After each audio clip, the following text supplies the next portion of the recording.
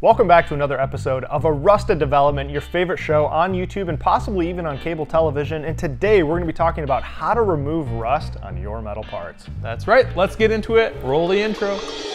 Now, the story of rust, and the two guys who talked about it in two minutes. It's a rusted development.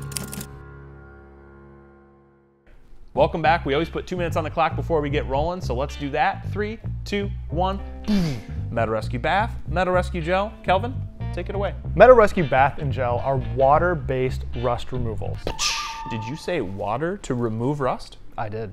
But normally water causes rust, and these people know that because they they they watch the channel. I know, it's crazy. So you're saying that this is water-based and it still removes the rust. Yeah, that's what I'm saying. Go on.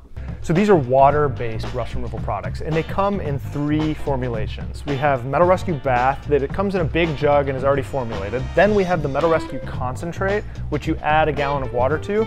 And then we have Metal Rescue Gel, which is fantastic for vertical surfaces or large, huge metal parts like a car or a heavy piece of machinery. Let's first talk about the Metal Rescue bath. The bath is perfect for soaking bulk parts, one part, any part that you can soak completely in the bath, it's perfect. But how does it work? Well, it works through chelation. And I know you're saying, Chris, what is chelation? I don't even know how to spell or pronounce that. Well, it took me some time as well. And what it is, is it's Latin for the word claw. And these claws are hungry, baby. They're hungry for rust. And they are going through finding rust, picking the rust off the metal part, and suspending it in the liquid.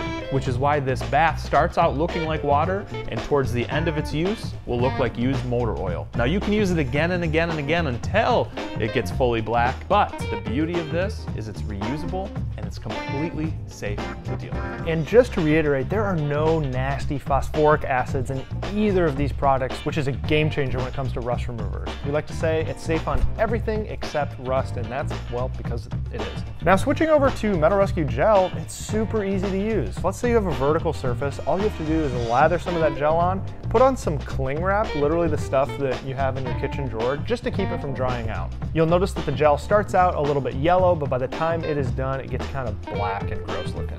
That's just the magic working, ladies and gentlemen. You might be looking at these and you may have noticed, well, why is there a B'laster logo on here? I thought you guys were Armor. Well, they work it like a pro and we are clean, safe, and easy. And we thought it was a match made in heaven.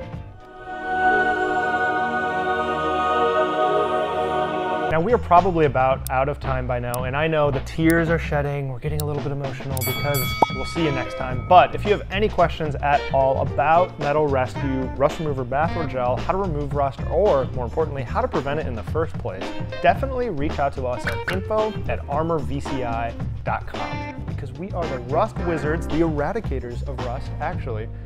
We have all the answers to your rust questions. It's clean, it's safe, it's easy, it's Metal Rescue, baby.